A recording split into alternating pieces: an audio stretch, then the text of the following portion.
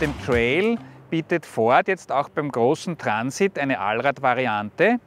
Das Fahrzeug basiert auf den Modellen mit Hinterradantrieb und man kann die Vorderachse dazuschalten und hat dann einen Traktionsplus für schwierigere Herausforderungen im Winter und auf schwierigen Fahrbahnuntergründen.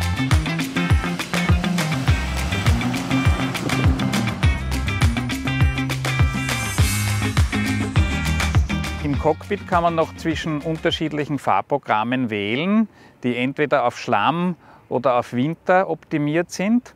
Und der Vorteil der Basis des Hinterradmodells ist, dass der Laderaum, das Volumen gleich bleibt.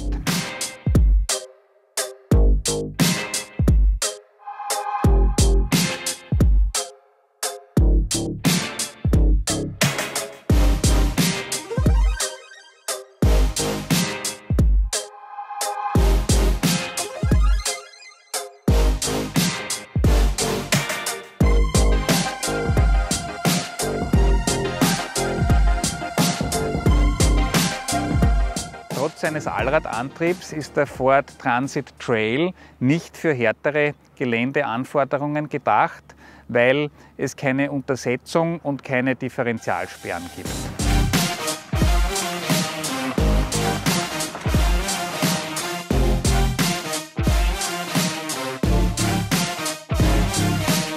Die Nutzlast beträgt 846 Kilo und das höchste zulässige Gesamtgewicht sind die dreieinhalb Tonnen. Das heißt, für das Fahren mit dem Ford Transit Trail Allrad reicht der Pkw-Führerschein.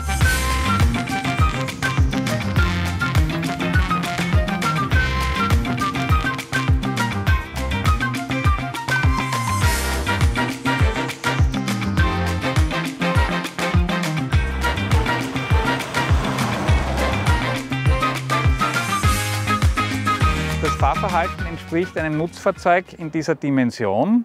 170 PS und 6-Gang-Schaltgetriebe werden kombiniert mit einer Vielzahl von modernen Fahrerassistenzsystemen. So gibt es zum Beispiel einen Adaptivtempomaten und eine beheizbare Windschutzscheibe.